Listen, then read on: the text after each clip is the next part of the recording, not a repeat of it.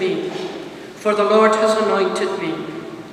He has sent me to bring good news to the poor, to bind up hearts that are broken, to proclaim liberty to captives, freedom to those in prison, to proclaim a year of favour from the Lord, a day of vengeance for our God, to comfort all those who mourn, and to give them for ashes a garland, for mourning robe the oil of gladness, for despondency praise. But you, you will be named priests of the Lord. They will call you ministers of our God. I reward them faithfully and make an everlasting covenant with them. Their race will be famous throughout the nations, their descendants throughout the peoples. All who see them will admit that they are a race whom the Lord has blessed. The word of the Lord. A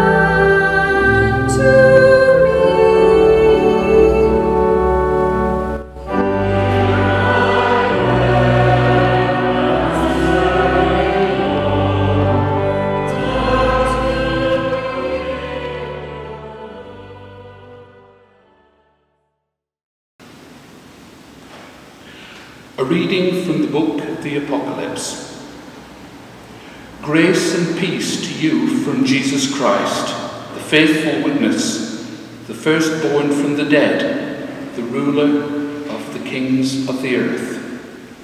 He loves us and has washed away our sins with his blood and made us a line of kings, priests to serve his God and Father.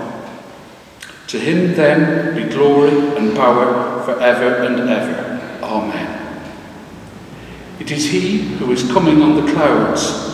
Everyone will see him, even those who pierced him, and all the races of the earth will mourn over him. This is the truth. Amen. I am the Alpha and the Omega, says the Lord God, who is, who was, and who is to come the Almighty. The word of the Lord.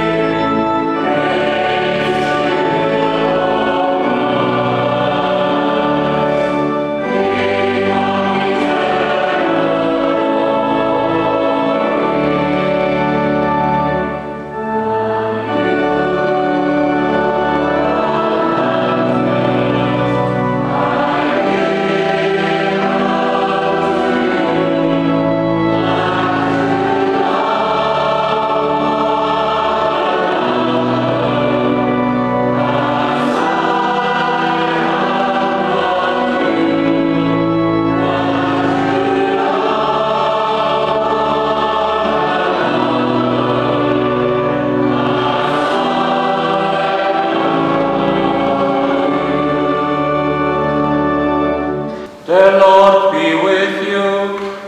And with your spirit. Reading from the Holy Gospel according to Luke. Lord.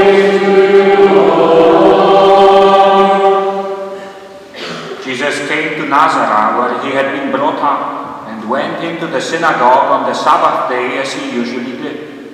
He stood up to read, and they handed him the scroll of the prophet Isaiah. Unrolling the scroll, he found the place where it is written, The Spirit of the Lord has been given to me, for he has anointed me. He has sent me to bring the good news to the poor, to proclaim liberty to the captives, and to the blind new sight, to set the downtrodden free, to proclaim the Lord's year of favor. He then rolled up the scroll, gave it back to the assistant, and sat down. And all eyes in the synagogue were fixed on him. Then he began to speak to them. This text is being fulfilled today, even as you listen. The Gospel of the Lord. Christ Jesus Christ.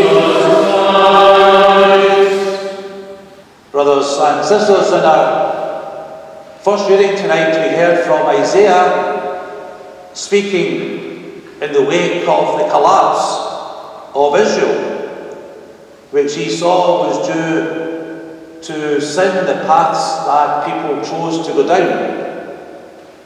But he's still full of hope, we hear tonight. And he looks to the time when the people will be priests, when they will be kings,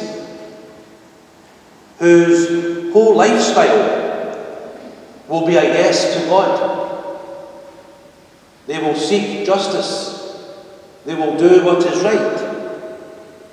And that transforming of them as individuals and of their society will make them the envy of others. And others will look at Israel and see the happiness that is there because of the way they are living.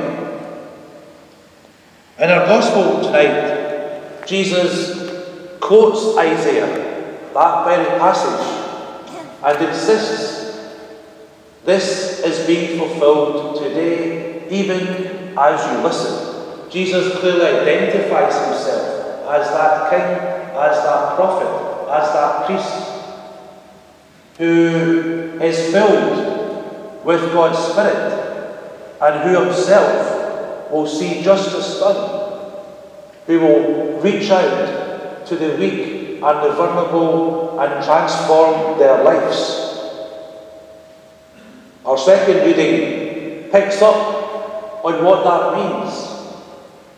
Of course, it is written after the resurrection.